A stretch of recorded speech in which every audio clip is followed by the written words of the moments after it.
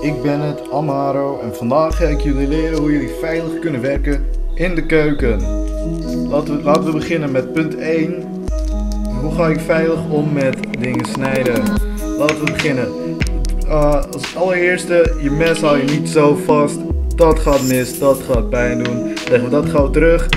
Zo hou je een mes vast. Goed stevig vasthouden dat je niet wegvliegt straks. Oké, laten we doorgaan met punt 2.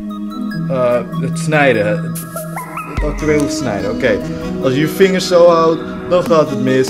Dat laat ik zo even zien. Dit is hoe je het wel snijdt.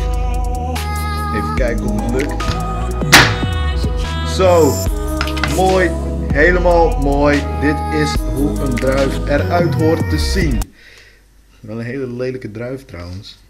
Oké, laten we doorgaan met het volgende punt.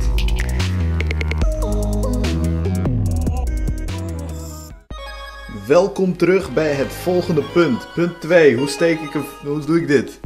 Wat is dit nou? Oké, laten we het proberen. Ik ga het wel even neerleggen. Wat heel even hoor. Ik ga het hier neerleggen.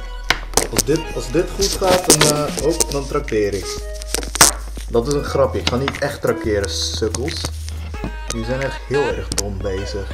Oké, nu staat hij geloof ik. Wil niet echt werken. Wacht heel even hoor. En nou heb je een mooie gasvlam. Oh, daar gaat mijn vinger. Een mooie gasvlam. En wat doen we hiermee? Helemaal niks. Ik heb geen zin om legitiem dingen hier te gaan koken.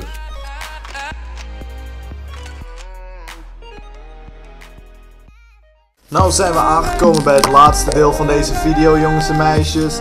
Laten we praten over de gevaren van het koken of snijden met een mes. Zojuist heb ik heel mooi een druif gesneden, perfect doormidden in twee. Maar wat gebeurt er nou als je niet uitkijkt, je mes verkeerd houdt of gewoon als een dom sukkel niet oplet op wat je doet? Nou, dit gebeurt er dan. Laten we heel even uitkijken. Disclaimer, uh, niet thuis proberen alstublieft. Laten we kijken wat hier gebeurt. 3, 2,